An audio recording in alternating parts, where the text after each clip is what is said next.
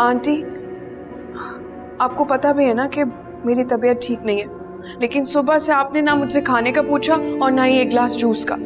कितनी वीकनेस हो गई है मुझे। बना देती हूँ बेटा लेकिन जूस तो तुम बना ही सकती थी। हाँ हाँ बना सकती हूँ और खुद भी बहुत अच्छा बना सकती हूँ। लेकिन याद है ना आपके बेटे ने क्या कहा था आपको? और डॉक्टर ने क्या कहा था? अपना बहुत ख्याल रखना, पैर ज़मीन पे ना रखना।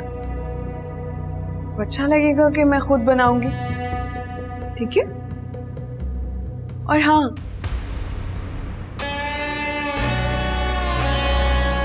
चिकन पराठा भी बना दीजिएगा। वैसे कितना मुश्किल है ना?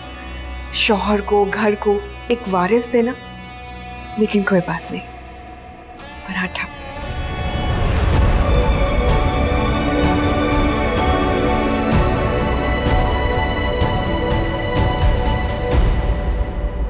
मिस हुदा आपको पता है सर आपके काम को बहुत एडमायर कर रहे थे।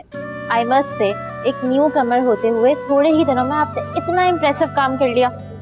थैंक यू सो मच बस कोशिश कर रही हूँ।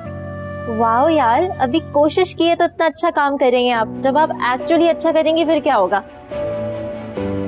चले, मैं चलती हूँ।